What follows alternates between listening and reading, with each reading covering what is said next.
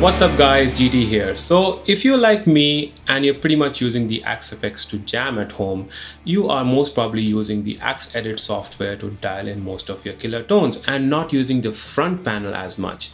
But that's absolutely fine, right? The Axe Edit is a really, really powerful and feature-packed software which does one thing and it does it right. It gives you a graphical user interface to easily dial in your tones which to be honest I find it a little hard to do from the front panel.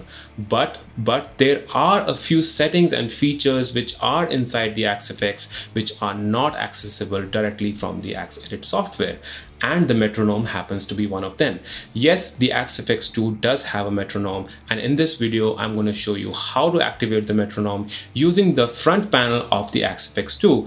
So without any further ado, let's dive into the front panel of the Axe-FX 2, not the Axe Edit, the front panel of the Axe-FX 2 and let's see how we can activate the metronome.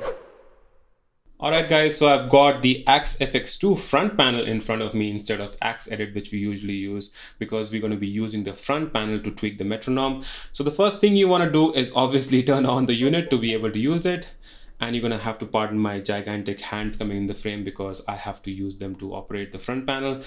Once you turn it on, you are greeted with the Ares welcome screen, which is the Ares firmware. I am on Ares 2.0 at the moment. Now, the moment you boot the Axe-FX 2 up, you're going to be greeted with this screen over here, which is the preset. And this is the main display of the Axe-FX 2.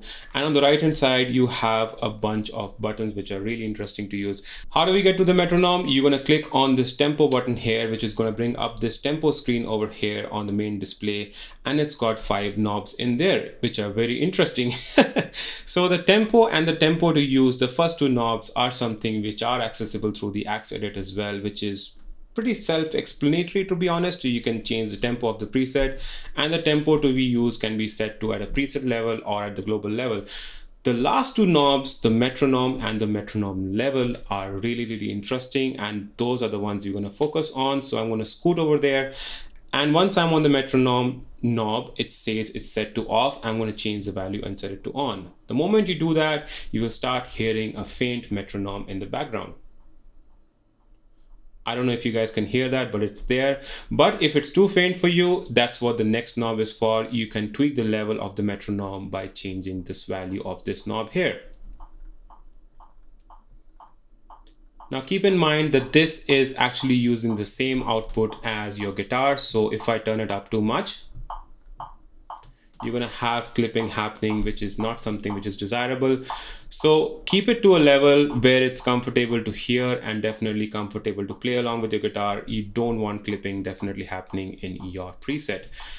Obviously, the metronome works with the tempo, so you're going to go and change the tempo. You can hear the metronome picking up speed or bring it down. You can hear it slowing down. And I'm going to go ahead and switch it off. That's how you switch it off. Well, that's pretty much it. That's how you use the metronome in the Axe-FX 2. And in case you like this video, make sure you go ahead and give it a thumbs up. And in case you aren't subscribed, please go ahead and do so. I really do want to make more content like this. And in case you want me to cover more of these buttons and what each of these buttons do on the Axe-FX 2 front panel, do leave me a comment below and I'll definitely get to them when I find the time. And until I see you guys in the next video, make sure you guys stay safe Keep rocking. Cheers. Bye bye.